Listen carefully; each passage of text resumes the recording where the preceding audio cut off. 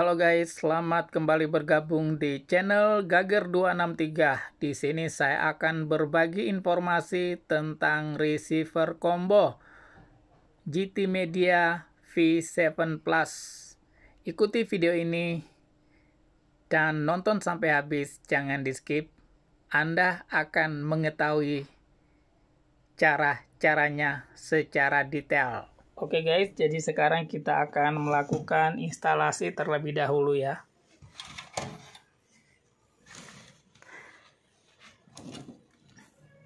Di sini saya ada dua kabel penghubung daripada antena parabola dan juga antena digital UHF atau UHF. Oke guys, sekarang kita akan melakukan instalasi terlebih dahulu. Kita letaknya di sini ya. Dan untuk kita cek dulu ya. Satu persatu untuk baterainya masih ada. Sudah saya pasang.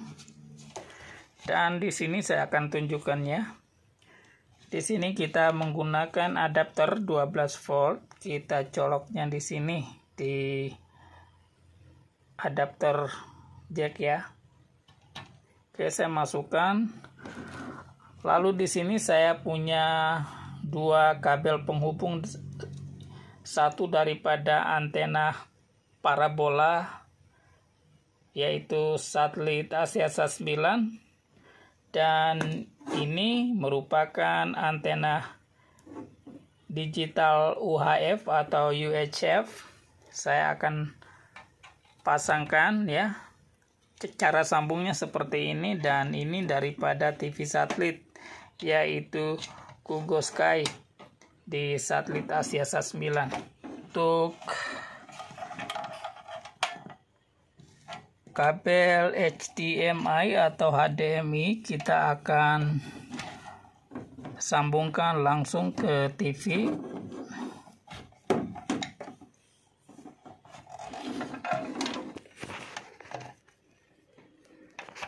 kabel HDMI-nya pasang seperti ini. Dan juga di sini saya akan sambungkan juga kabel RCA-nya atau RCA-nya kita pasang kita sesuaikan warnanya saja ya. Merah merah putih putih dan kuning. Oke jadi uh, saya sudah melakukan instalasi ya. Ini untuk antena digital dan ini untuk antena parabola yaitu Asiasa 9 untuk siaran Kugo Sky TV dan ini HDMI saya hubungkan ke TV yang ini. Dan ini kabel RCA nya saya akan hubung ke sini ya. Biar jelas. Oke jadi tampilannya seperti ini Oke guys, sekarang kita sudah masuk pada menu instalasi. Dan sebelum kita melanjutkan video ini, jangan lupa berikan subscribe, like, komen, dan share. Dan juga jangan lupa aktifkan loncengnya agar Anda tidak ketinggalan pada video-video terupdate di channel ini. Selanjutnya kita ke daftar satelit. Kemudian apa yang harus kita lakukan? Pertama-tama yaitu memeriksa daftar satelit yang ada di receiver GT Media V7 Plus ini. Apakah sudah terinstall satelit Asiasat 9 atau belum? Soalnya di sini terlalu banyak satelit bawaan daripada receiver ini. Lebih kurang 58. Jadi kita akan cek apakah satelit Asia Sat 9-nya ada. Ternyata tidak. Maka apa yang kita lakukan? Pertama-tama kita harus mendaftarkan dulu satelit Asia Sat 9 dengan menekan tombol di remote control yang berwarna merah agar kita bisa memasukkan nama satelit Asia Sat 9 di sini. Untuk eh, melakukan instalasi ini, kita hanya perlu mengikut arahan yang terpapar di layar monitor. Semoga sahabat bisa memaklumi ini.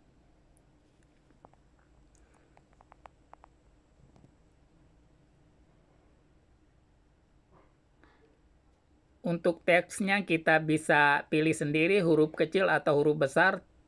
Tinggal menekan tombol yang berwarna hijau di remote control. Huruf atau teksnya pasti berubah.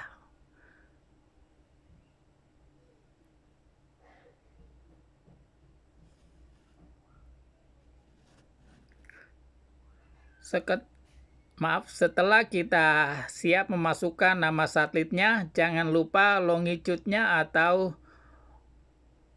satelit Asiasat 9 ini mengorbit di garis bujur 122 derajat bujur timur.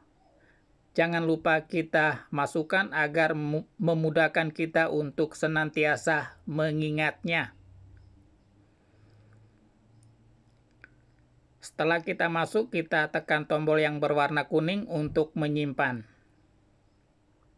Kemudian kita scroll ke sebelah kiri untuk memasukkan LNB frekuensinya.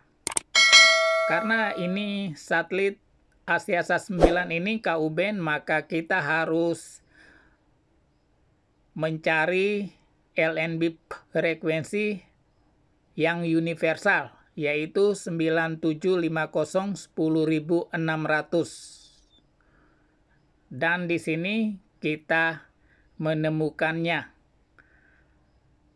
Lalu kita simpan dan kita tekan exit untuk menyimpan.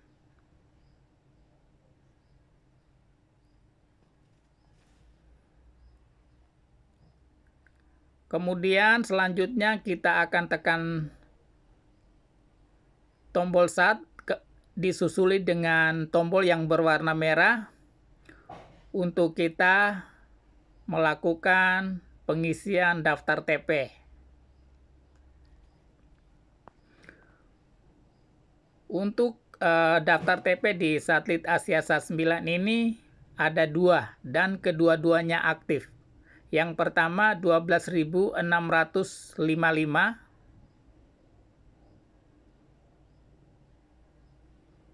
dengan simbol rate 45.000 dan polarisasinya vertikal.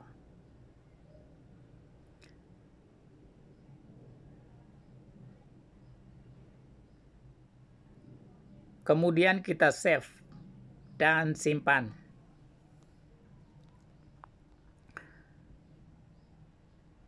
Selanjutnya, kita akan kembali menekan tombol yang berwarna merah di remote control untuk memasukkan daftar TP yang kedua.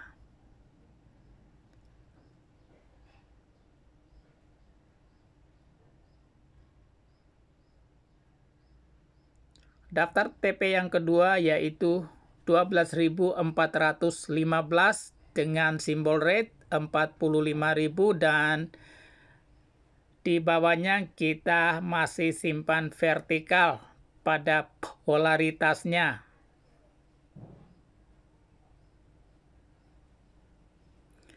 Kemudian kita tekan OK untuk menyimpan, save. Nah, sekarang untuk kedua daftar TP sudah kita masukkan di sini. Sudah berhasil dan kita perlu mencentang tanda right untuk kedua daftar TP ini sebelum kita melakukan scan. Setelah itu kita pilih tombol yang berwarna biru untuk melakukan pencarian sinyal. Di sini untuk FTA-nya yes dan network search yes, scan channel TV dan radio. Kita tekan search atau tekan OK di remote control. Kita akan menunggu beberapa saat sampai pencarian selesai. Dan hasilnya ada 126 saluran TV dan satu saluran radio. Kemudian kita tekan OK dan ini hasilnya. Pertama-tama tampilan di sini ada unastv.com, maaf unastv.com merupakan channel baru di sini. Atau terbuang sia-sia Kan sebelumnya ada Inspi apa sebelumnya ada Inspira TV dan juga Mantap TV dan banyak lagi juga Garda TV. Namun Garda TV saat ini mungkin jam tayangnya belum karena ianya masih gelap. Dan untuk saluran TV yang lain yang ada di Kugo Sky TV masih sama seperti video-video saya sebelumnya. Dan untuk Net TV dan Metro TV juga sampai hari ini pertanggal 4 Maret 2022 masih belum juga kembali tayang di Kugo Sky TV. Saya tidak tahu kenapa dan jangan tanya saya kenapa Kugo Sky TV belum muncul karena saya tidak tahu. Oke guys, jadi semua hasilnya masih sama seperti video-video saya sebelumnya. Jadi bagi teman-teman yang baru berkunjung di channel ini, jangan lupa berikan subscribe, like, komen, dan share. Dan juga jangan lupa aktifkan butang lonceng agar Anda tidak ketinggalan pada video-video terupdate di channel ini di waktu-waktu yang akan datang. Dan seperti biasa untuk daftar TP 12415 masih didominasi de, di, dengan TV TV dari luar negeri seperti yang Anda lihat di layar monitor tadi. Oke, sekarang kita akan masuk kembali ke daftar menu. Kita memilih daftar instalasi. Kemudian kita scroll ke sebelah kiri, lalu scroll ke bawah kita pilih TV terestrial. Kita tekan OK dan tampilan di TV terestrial seperti ini. Di sini kita ada dua pilihan, sama ada kita memilih mencari sinyal dengan menggunakan auto search ataupun manual search. Pilihan ada di tangan Anda. Kemudian di sini untuk auto search TV terestrial atau TV digitalnya sedang berlangsung dalam pencarian. Di Malaysia cuma hanya ada dua provider TV untuk MyTV-nya, sedangkan di Indonesia terlalu banyak provider TV. Sehingga channel-channel yang bisa kita dapat scan untuk saat ini di Indonesia lebih banyak berbanding di Malaysia karena di Indonesia saat ini di beberapa kota sudah berhasil menonton siaran TV digital sebanyak 50-an channel. Berbanding di Malaysia cuma 18 channel dan 14 saluran radio. Dan dengan decoder combo ini kita bisa menonton dua provider TV sekaligus yaitu TV satelit dan TV terestrial. Seperti yang kita lihat di layar kaca saat ini.